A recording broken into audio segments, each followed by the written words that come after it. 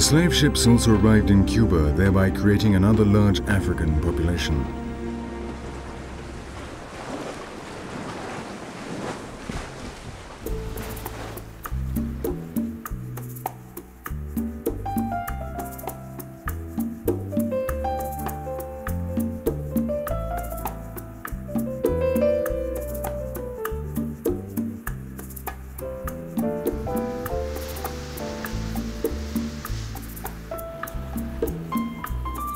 Here, the rebel slaves were called cimarrones, and they also had to win their freedom.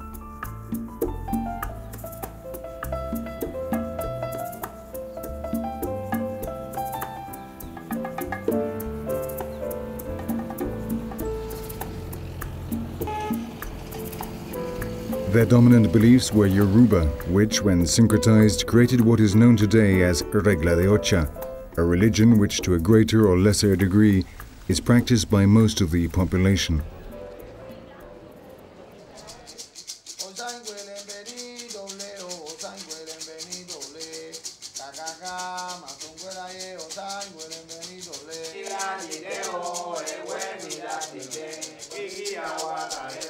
All the rituals of the Regla de Ocha start with the smoking of herbs such as basil or siempre viva, everlasting flower.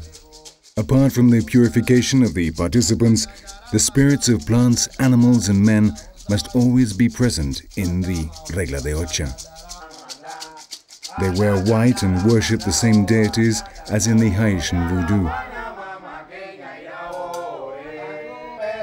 Olga holds the chicken which they are going to sacrifice to Exu. The Babalawo that she went to see consulted the oracle to Ifa and he told her what to do. She had run the risk of being deceived by a man.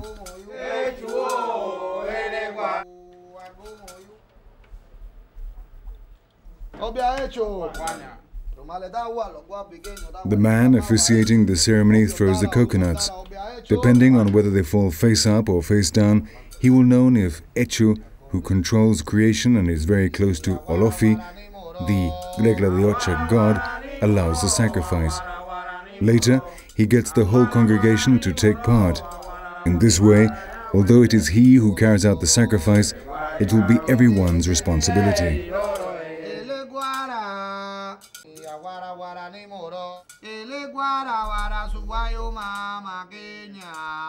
The flowing of body fluids substitutes human life. Life is given in order to preserve life and establish a unifying link with the supernatural order.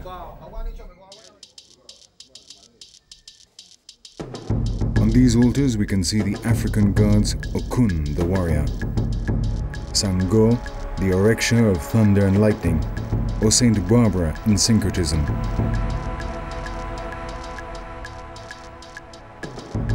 The god of ancestors. Orula, intermediary of Olofi the sun, and above this, Obataia, the lord of the mines equivalent to Our Lady of Mercy. And lastly, St. Lazarus, the saint of epidemics and diseases.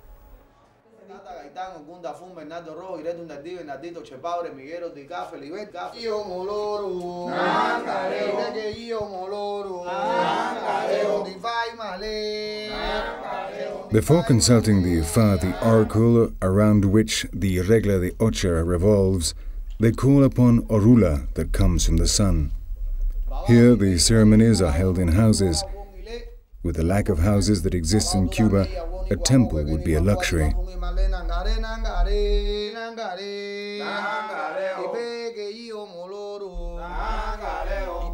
They drink the rara ekuo, a soft drink made from corn which protects them from the heat which comes down from heaven through the spirit Orula.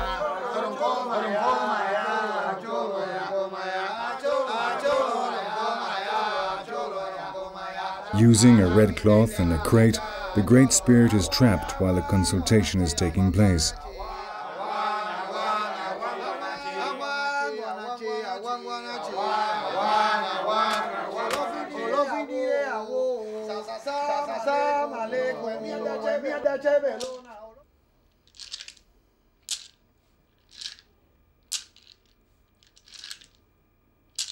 Mirede, Juanito, the Yoruba Ifa uses a very complicated prophecy technique. More than a thousand deities may appear in the form of mathematical combinations. The Babalawo must interpret them correctly and identify the final answer to the consultation, which will be the decision and order of Orula.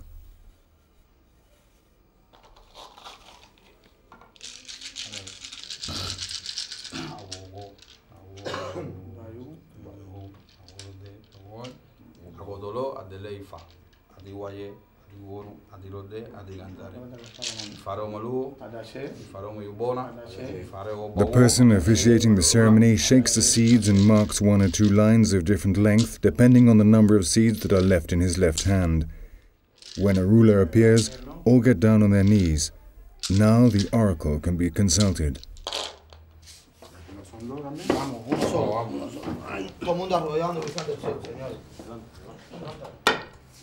aquí.